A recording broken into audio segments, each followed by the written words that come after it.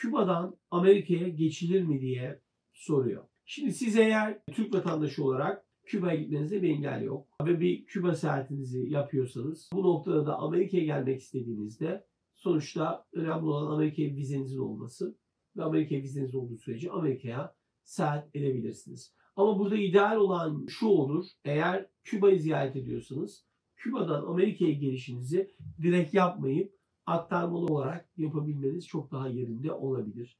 Ben örnek veriyorum. Oradan Meksika uçabilirsiniz. Oradan gelip Amerika'ya tekrar uçabilirsiniz. Bu şekilde bir yöntemle yapmanız çok daha iyi olacaktır.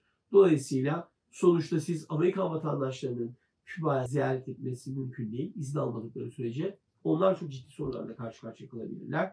Ama siz Türk vatandaşı olarak böyle bir sorunla karşı karşıya kalmayacaksınız. Yalnız ideal olan nokta Amerika'ya direkt uçuş yapmamak, aktarmalı ya da başka bir ülkeye uçup oradan geliyor olmanız çok daha tavsiye ediliyor olacaktır.